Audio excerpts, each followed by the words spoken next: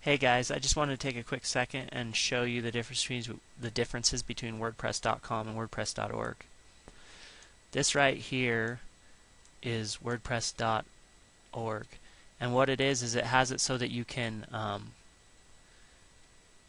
download WordPress right there. So when you click on it, it will have it will give you the option so you can download it to your computer and it will be a file that you have to you take that file once you've downloaded it the zip file and you have to upload it to the server. And a server um, what a server is is it's where it will it hosts your website. So you have to go out and get web hosting like one and one or GoDaddy or something like that and they'll charge you a monthly fee and they will host your site for you.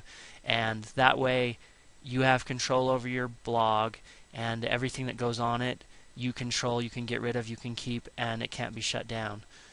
The, that's really the upside to it, and you have more control over themes and, and how you can change it and what you can make it look like and all the options that you can have. You have way more options with WordPress.org than you do with WordPress.com.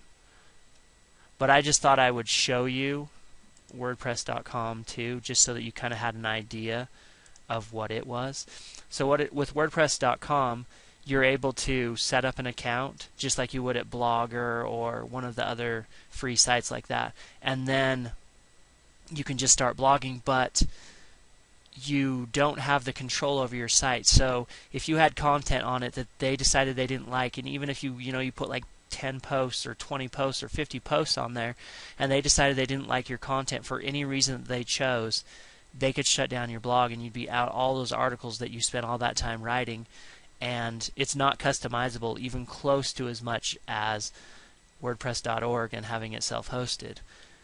So that's why it's really important to have self hosted instead of a free blog because you don't have as much control and you cannot have it as customized because you don't have access to all the stuff you need to be able to access file wise and the back end to be able to have it customized so that it doesn't just look like everybody else's site out there and that it's unique to you.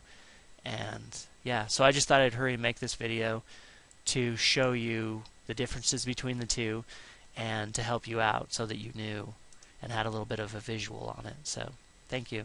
I will talk to you later.